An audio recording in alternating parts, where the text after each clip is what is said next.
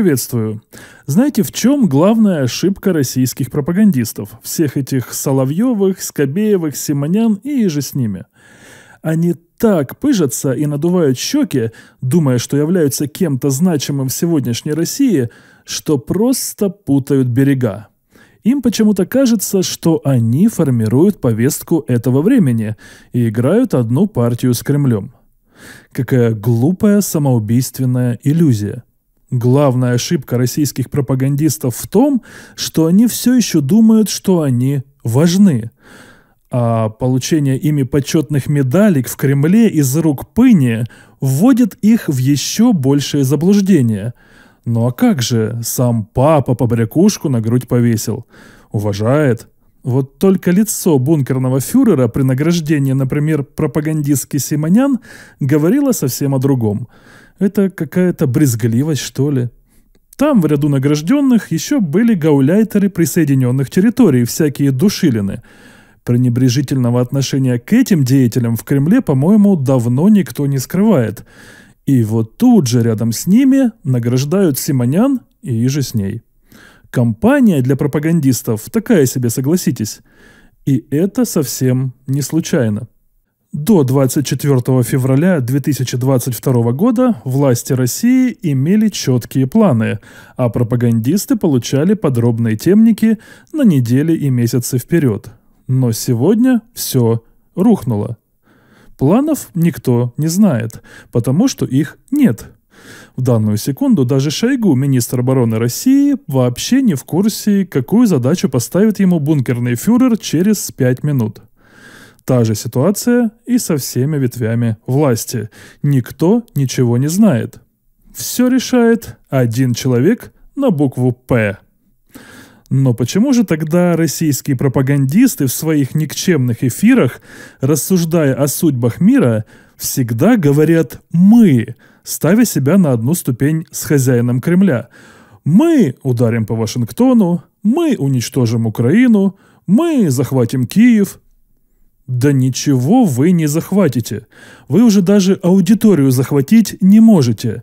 Социология говорит о том, что зрительский охват всех этих российских пропагандистских помоек неуклонно снижается. Ну неужели все эти Соловьевы, Скобеевы, Симонян и правда думают, что важны, когда с пеной у рта доказывают правоту очередных путинских решений по уничтожению Украины? Оправдывая войну и мобилизацию, российские пропагандисты правда не догадываются, что они наравне с мобиками являются таким же точно пушечным мясом, расходным материалом – После начала войны их деятельность почти совершенно бессмысленна. Я поясню. Отлаженная за 20 лет репрессивная кремлевская машина работает лучше всякой пропаганды. Россиянина уже не нужно ни в чем убеждать или поддерживать в нем правильные убеждения. Все уже произошло. Третий рейх уже кристаллизовался в своем самом идеально чудовищном виде. Страх и безнадега в среде глубинного российского народа вытеснены верой в исключительность русского пути и ненавистью ко всему инородному. Так что здравствуй, национал-социализм. Слава великому Путину и великой Германии. Тьфу, России. Слушайте, ну серьезно, Видно ведь, что методичек уже никто пропагандистам не раздает. Изгаляются они кто во что гораст. Вылизывая бункерному фюреру пятую точку, каждый из пропагандистов действует на свой страх и риск.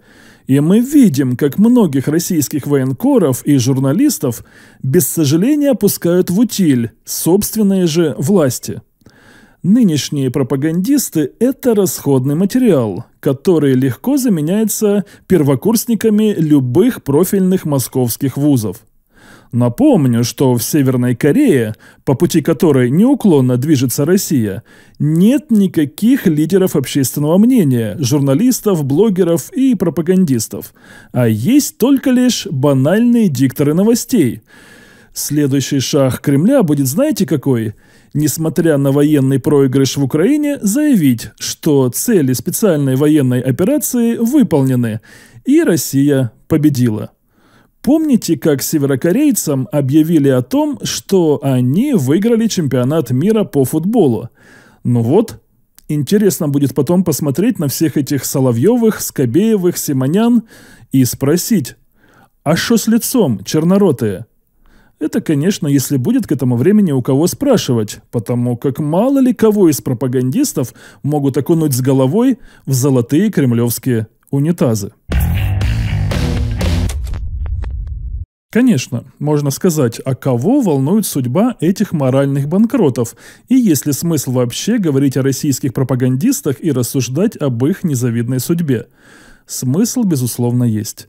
Ведь все эти прошедшие, я надеюсь, последние годы, а то и месяцы или дни правления бункерного фюрера именно пропагандисты отыгрывали одну из ключевых ролей в становлении этой мерзопакостной личности в качестве президента России – это же именно они глубочайшим образом внедрили в головы россиян, до чего греха таить, и в умы западного мира тоже тезис о том, что Путлер – это Россия, а Россия – это Путлер. И в РФ, и в мире многие всерьез думают, что России без Путина не будет – в сознании россиян это связано с чувством самосохранения и страхом перед неопределенностью, потому что им 20 лет из каждого утюга задавался вопрос «Если не Владимир Владимирович, то кто?» Понятно, что и сам Владимирович без дела не сидел, планомерно устраняя конкурентов. Я, например, уверен, что немалое количество россиян в свое время не прочь было бы увидеть в качестве президента РФ Бориса Ефимовича Немцова. Что касается западного мира, то опасения о России без Путлера связаны прежде всего с тем, что никто не хочет гражданской войны в 140-миллионной стране, обладающей ядерным оружием. Именно поэтому украинское контрнаступление придерживается ограничением поставки вооружений – Запад явно хочет какой-то нежной смены власти в Кремле или мягкой завуалированной капитуляции России с сохранением Москвой лица. Это, я думаю, очевидно всем. И вот на этих убеждениях работает сегодня вся и мировая политика, и внутренняя политика России. Убеждения, на мой взгляд, ошибочные. Запад ошибается – как ошибался в том, что Киев падет за несколько дней, как ошибался и в 1991, когда Джордж Буш-старший прилетал в Киев убеждать Верховную Раду отказаться от разрыва с Москвой. Как американцы признавали позже, для них не было очевидно, что напичканный ядерным оружием Советский Союз распадется достаточно мирно. Они ошибались тогда и ошибаются сейчас. Как ошибаются сейчас и россияне, не видящие будущего своей страны без бункерного фюрера. Россияне мне напоминают жертв домашнего насилия, ведь президент РФ – это типичный абьюзер. Вернее, не совсем типичный, он же ведь не злоупотребляет алкоголем. Вроде бы. Хотя, если бы прибухивал, это в России было бы скорее благодетелью, нежели пороком. Но от этого насильника нужно избавляться, как и от иллюзий, что на нем все держится. Перемены в РФ давно назрели, но россияне, к сожалению, пока занимаются самоуспокоением и вряд ли хотят что-то менять.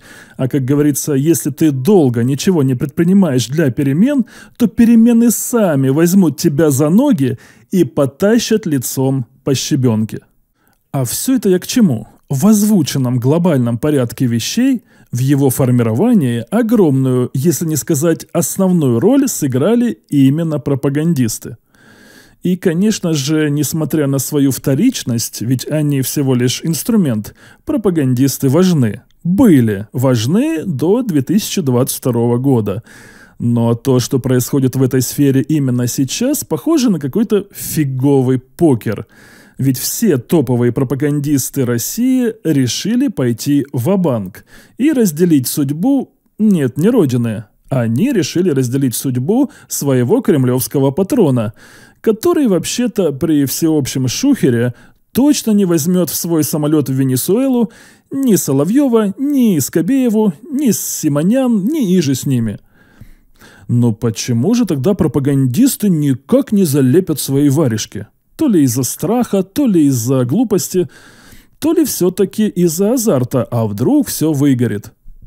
Многим из них стоило бы слиться, спрятаться, затаиться в надежде на то, что как-то все забудется, и в новой России будет для них в будущем какое-нибудь тепленькое местечко.